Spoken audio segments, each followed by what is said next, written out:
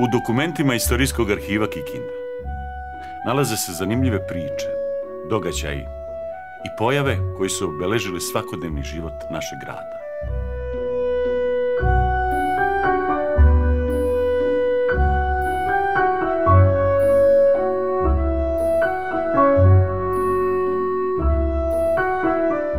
Kikinski vremeplov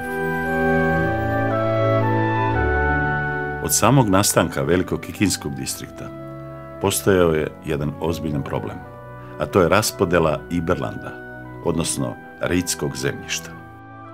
Privilegijom Marije Terezije garantovano je stanovnicima distrikta da će pored zemlje koji su tokom naseljavanja dobili moći da obrađuju i ritske zemlje, za koje će dvor zadužiti lice da podeli i unese u gruntovnice a da se ta zemlja ne može nikako tuđiti i da će svakda pripadati stanovnicima distrikta.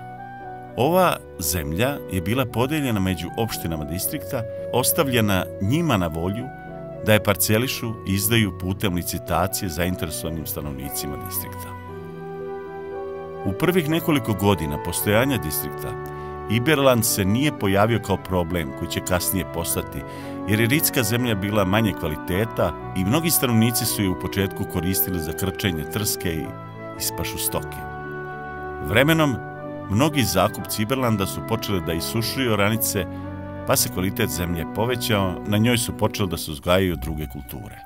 Ovo je bio čest slučaj uprkos zabrani da se Iberland koristi u te svrhe. 1781. godine kraljevski komesar Hala je optužio mnoge senatore distrikta da su za sebe prisvojili oko 1050 jutara Iberlanda i da je to jedan od mnogobrojnih primjera zloupotreba položaja prilikom deljenja zemlje.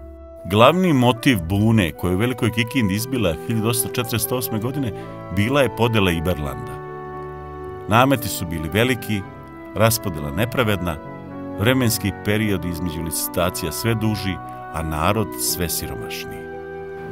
Ovde ispred železničke stanice, maja 1872. godine desio se incident, jer su građani demonstrirali protiv nepravedne raspodere Iberlanda prilikom posete Franje Josifa Kikindi. Nezadovoljstvo je tinjalo, a potpirevano je i zahtjevima da se parcelisanje ponovo uradi. Neprestani sukobi i svađe oko raspodele Iberlanda doveli su do toga da se 1876. ukine Velikokikinski distrikt.